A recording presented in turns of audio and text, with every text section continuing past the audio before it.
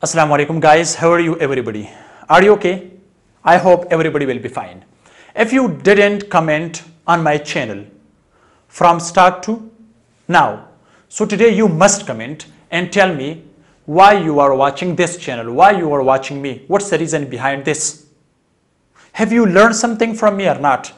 So today you must comment and I will answer uh, all of those people, those students which comments in this video right? So you must comments what's the reason why you are watching me? Have you learned something or not? And tell me uh, the new idea of teaching uh, uh, teaching like this okay? Or just give me a new idea? Yes? Okay today topic is the very interesting in civil engineering. That is grade of concrete. What is grade of concrete so uh, everybody know that uh, non-civil engineering people they don't know grade of concrete. If you uh, come to uh, civil engineering students which completed uh, diploma, uh, three-year diploma, they are working on construction sites. So also they don't know grade of concrete. What is grade of concrete? What is its mix ratio? So this is the topic for today. Let's start. If the video is helpful for you, so like the video. So guys, grade of concrete. So concrete grade concrete grades okay? And other side mix ratio. So first here we have a question. That is we have different grades of concrete uh, for example m5 the second one is m7.5 third one is m10 the fourth one is m15 the fifth one is m20 the sixth one is m25 uh, Uh, and M30 etc. So here is a question what is M? What is M? M stand for mix okay and what is number for example the number is 15 or 7.5 10 20 25 anyone okay so what is number so number is strength, the characteristic strength of concrete after 28 days. So this is the compressive strength of concrete. Compressive strength of concrete in Newton per mm square after 28 days because we test the concrete in compression machine in uh, 7 days, uh, uh, 14 days, 21 days and the last one is 28 days because concrete get the full strength or 99% strength after 28 days. So this is the compressive strength of concrete in Newton per mm square after 28 days and so for different grade of concrete we have different compressive strength. For example, M5 means when we make the M5, the M5 ratio is first of all that is uh, 1, 5, 10. Guys, so 1 is cement, 5 is sand, fine sand and uh, fine aggregate and the th uh, 10 is coarse aggregate. Okay, so this is uh, cement, this is sand, this is aggregate.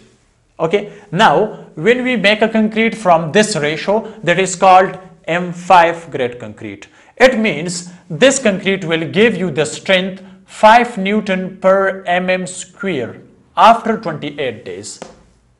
Okay, now the second one is 7.5. 7.5 ratio is 148 and M10 ratio is 136 and M15 is 1 4 sorry 1 2 4 and M20 is 1 1.5 and 3 okay? And m25 is 1 1 2 now guys we have m30 okay? So from uh, after 25 we have that is uh, design mix. It's depend on the design mix. In design mix we have guys uh, m m30 m35 and m uh, m40 M45, M50, M55 etc so we should design okay? It's depend on the design mix okay? But uh, these uh, you can see from M20, uh, from M5 to M25 these are the ratio. So now guys there is a question M20 grade of concrete should be used for column beam and slab. It can give you a good strength. Use minimum M20 grade concrete for beam column and slab which ratio is 1 ratio 1.5 ratio 3 but unfortunately in India, also in Pakistan, they are using in one bag of cement three wheelbarrow, full three wheelbarrow, and there two are sand and one is crushed. So guys, it's wrong. You cannot get a full strength. What are you doing? So from this ratio, from one bag cement, okay, so I saw them in one bag cement, okay, in one bag cement, they use three wheelbarrow. They use three wheelbarrow so guys, this is wrong. This is this is wrong. You should not do this. So what is this ratio? And 3 wheelbarrow. So one bag of cement 50 kg and 3 wheelbarrow. From where you can get and there telling this is 1 to 4. No, it's impossible. And three uh, three wheelbarrows, one is, uh, two is sand and one is crush. So how? it's wrong so you should do it by batching or by volume by kg you should by balance you can do it. Or make a box. One box cement okay? Two box if you want to do this one two four. Two box sand and four box aggregate or crush or m20 one bag uh, one box or and cement bag one cement bag 1.5 sand and 3 crush or aggregate okay? So this is wrong formula. So you should not apply this for the building construction. You will face more problems. You cannot get a full strength so just your uh, lost your money. Okay?